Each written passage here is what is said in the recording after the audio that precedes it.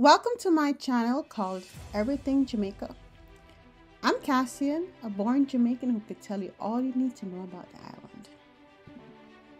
Today we'll talk about Jamaica's, Jamaica's national heroes, or rather what I like to call superheroes, living and dead. Number 3, Bustamante.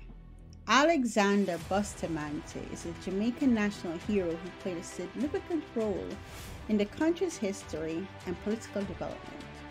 He was born on February 24, 1884, in Hanover, Jamaica, and was the founder of the Jamaica Labour Party, JLP, and the first Prime Minister of Jamaica. Bustamante was a strong advocate for workers' rights and fought against the exploitation of Jamaican workers by British colonial authorities. He led several strikes and labor protests and was known for his charisma and his ability to inspire and mobilize the Jamaican people. He was charismatic and was widely respected by, for his dedication to improving the lives of Jamaican workers.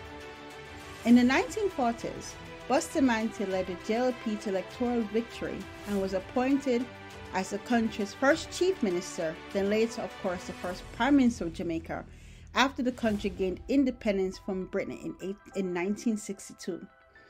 During his time in office, he focused on improving the standard of living for Jamaican workers, strengthening the country's economy, and improving national unity.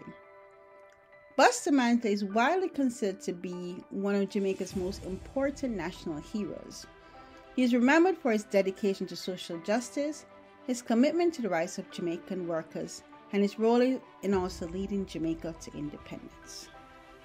Please also check out my other videos, and if you like what you see in here, please like, share, and subscribe. And also feel free to comment below. And as we in Jamaica say, walk good